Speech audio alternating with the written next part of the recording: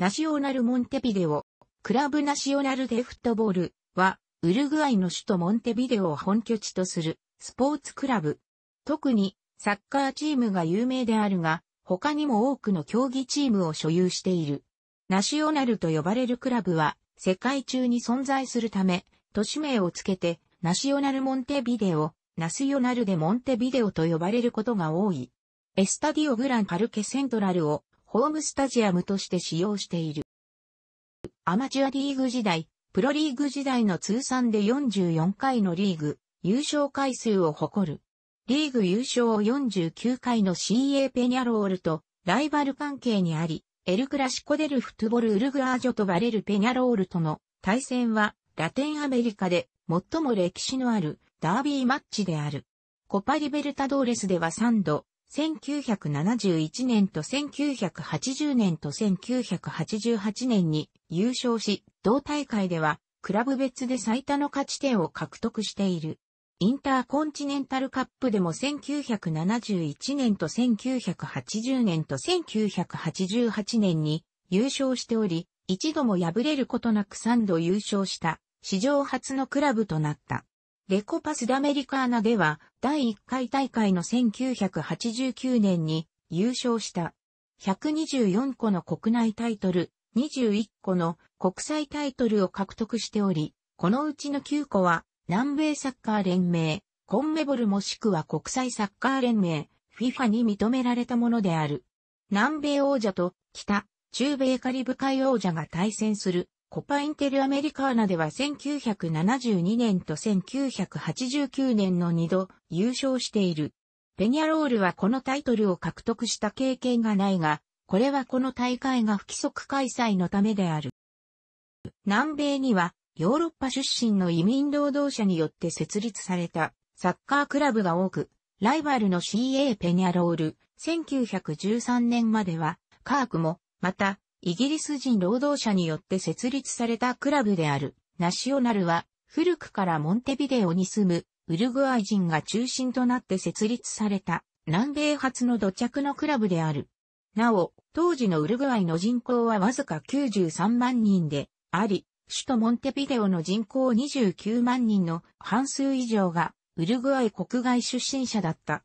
1899年5月14日、ウルグアイ AC、ウルグアイアスレチッククラブとモンテビデオ FC、モンテビダオフートバルクラブが合併して、クラブナシオナルが創設された。ウルグアイの英雄であるホセ・ヘルバシオ・アルティガスに由来する3色、赤、青、白を使用したクラブ機を定め、赤色をメインに青色も用いたユニフォームをデザイン。6月18日、インテルナシオナルとの間でクラブ初試合となる親善試合を開催した。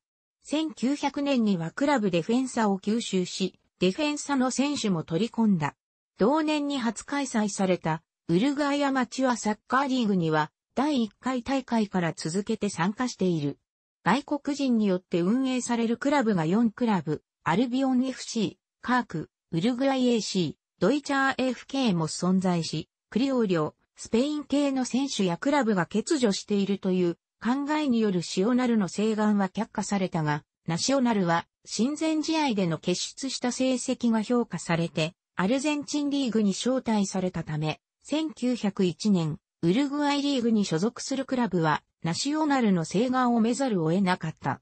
1902年シーズンには、リーグ戦で初優勝し、同年には赤色のユニフォームが白色に変更された。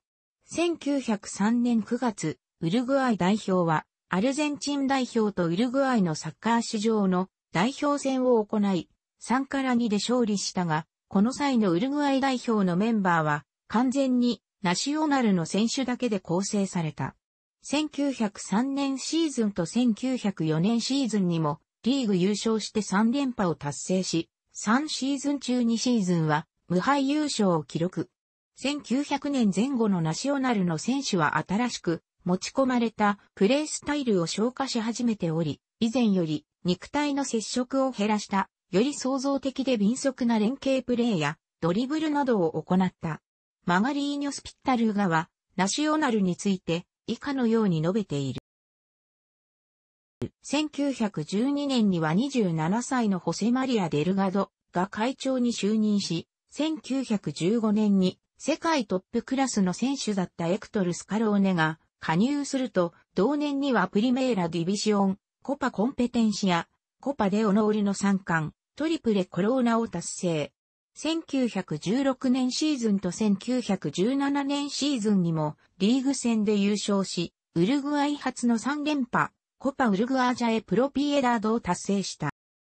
全国レベルと地域レベルそれぞれで大きな成功を収めた後、ナシオナルは国際舞台で成功を収めたウルグアイ初のクラブとなった。1924年のパリオリンピックにはアンドレス・マサーリ、サントス・ウルディナラン、スカローネ、アンヘル・ロマーノ、アルフレード・シュベーチ、パスクアル・ソーマの6選手をウルグアイ代表に入り込み、ウルグアイは決勝でスイスを破って優勝。1928年のアムステルダムオリンピック、1930年の 1930FIFA ワールドカップの際にもウルグアイ代表に多数の選手を送り込み、ウルグアイは再び優勝を果たした。国内リーグでの活躍や所属選手の代表での成功などの理由から、1925年には長期間のヨーロッパ遠征に招待され、6ヶ月、153日間にわたる遠征中に38試合を行った。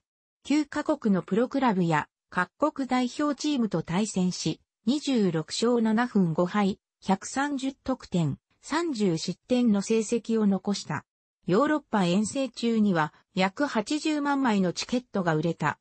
1927年にはアメリカ遠征を行い、16勝2分1敗の成績を残した。1939年から1943年には5連覇、キンケニオでオロを達成。この5年間にはコパウルグアージャで96試合を戦い、77勝9分10敗、318得点108、失点の成績を残した。1938年から1943年には23度のエルクラシコが行われ、ナシオナルはペニャロールに対して18勝4敗、1分と圧倒的な成績を残している。1941年12月14日のダービーには6から0で退場し、ダービーにおける最大得点差記録を樹立。この年には20戦全勝でリーグ優勝した。1943年11月23日のダービーでも勝利し、ダービーにおいて10連勝を達成した。この時代の主力には以下の選手らがいる。ライバルのペニャロールに加え、アルゼンチンの強豪であるボカジュニアーズ、CA リーベルプレート、ラシンクラブ、CA インデペンディエンテ、CA3、ロレンソであるマグロ、CA ロサリオセントラル、ニューウェルズオールドボーイズなどが、コパリオデラプラタ、コパデオノール、コパデコンペテンシアなどの国際カップ戦を創設し、これらの大会での成功で、国際的な名声を得た。1960年には、南米王者を決めるコパリベルタドーレスが創設され、ナシオナルは1962年に初参加。1964年には CSD コロコロ、チリを破って決勝に進出したが、インデペンディエンテに敗れて準優勝に終わった。1967年には準決勝リーグで、クルゼーロ EC、ブラジルやペニャロールと同居した準決勝リーグを突破したが、ラシンクラブに敗れて、再び準優勝に終わった。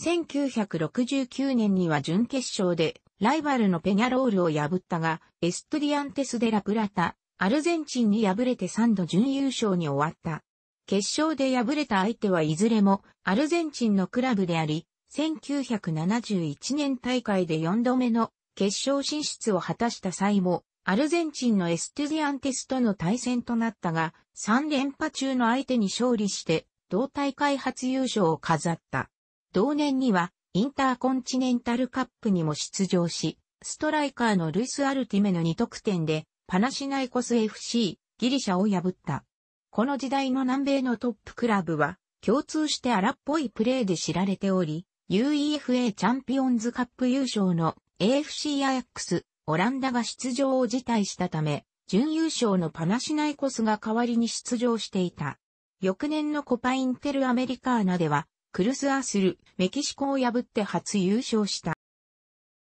1980年のコパリベルタドーレスでは、決勝で SC インテルナシオナル、ブラジルと対戦し、満員のセンテナリオでインテルナシオナルを破って2度目の南米制覇を果たした。同年のインターコンチネンタルカップでは、ノッティンガムフォレスト FC、イングランドと対戦し、ワルデマール・ビクトリーノが試合唯一の得点を挙げて、ノッティンガムを撃破。同年には、リーグ戦でも優勝した。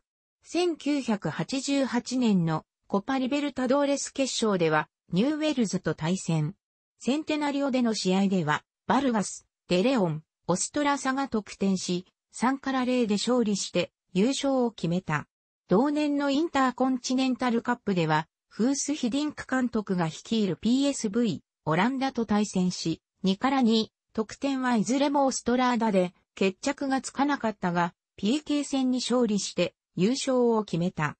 1989年のコパインテルアメリカーナでは CD オリンピアに勝利して2度目の優勝を飾り、同年のレコパスダメリカーナではラシンクラブを破って優勝した。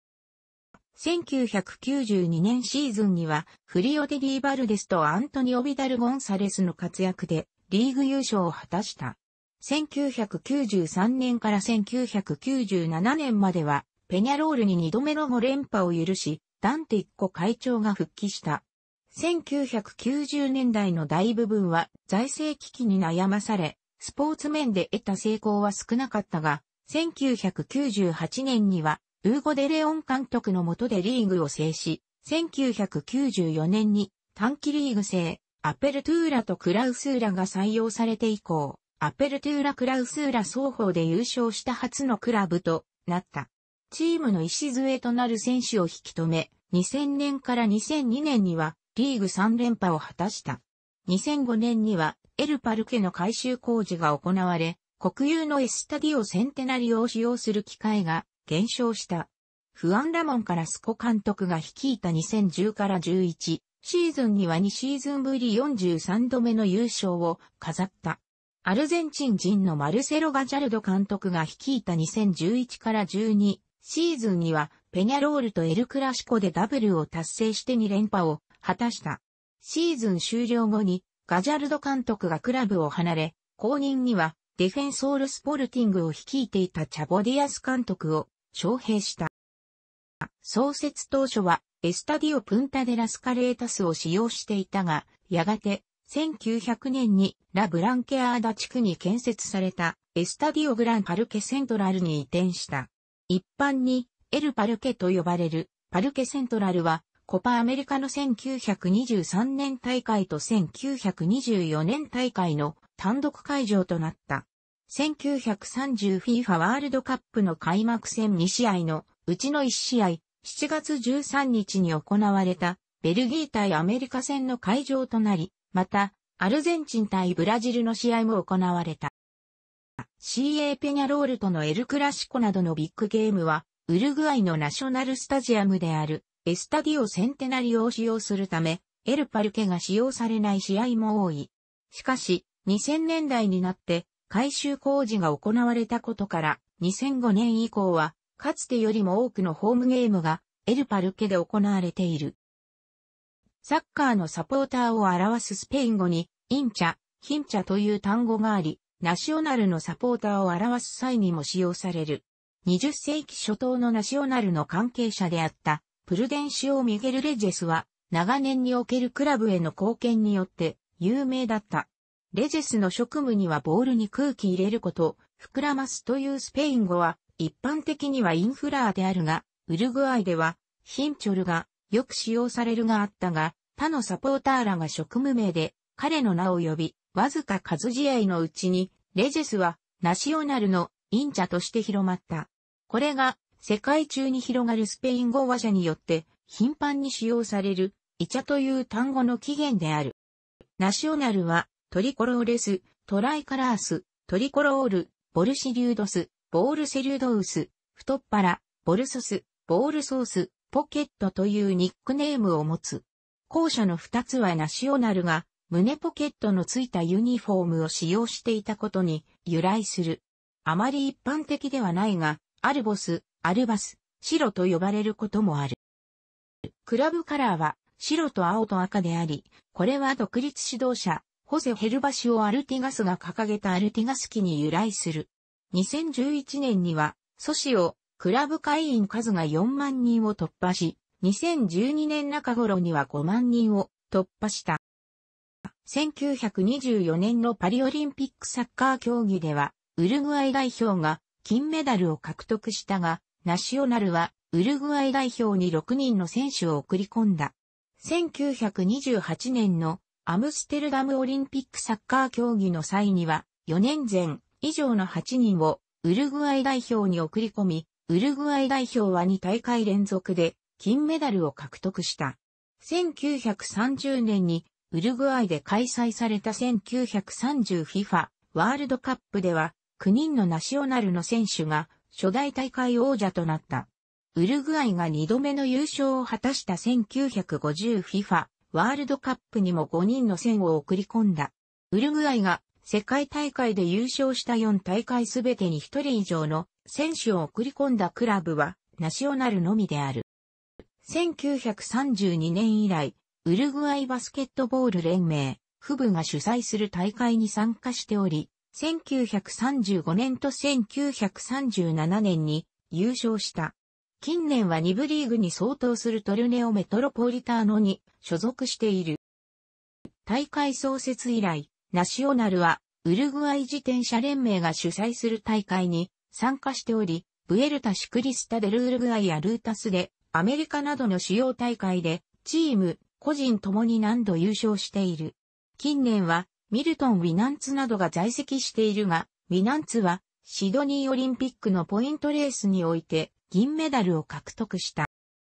パルケセントラルにはタルド・アブドン・ポルティスタンドの裏側に多くのテニスコートがあり、様々なカテゴリーの大会が行われている。2005年にはデビスカップのアメリカゾーン E のウルグアイ代表戦を開催された。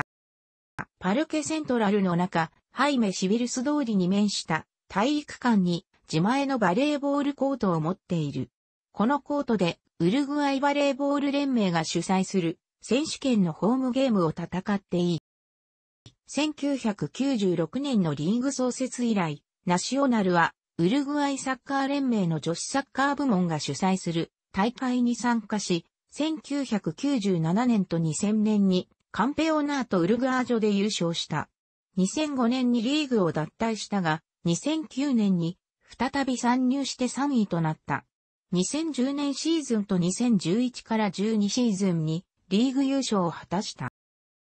ナシオナルはウルグアイサッカー連盟のフットサル部門が組織する大会に参加しており、何度もリーグ優勝している。2003年にはコパリベルタドーレスでフットサルで準優勝した。